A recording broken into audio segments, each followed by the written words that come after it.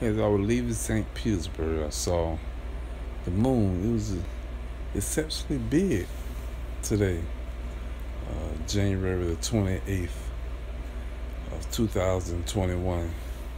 Bzzz. And it's called Moon Illusion.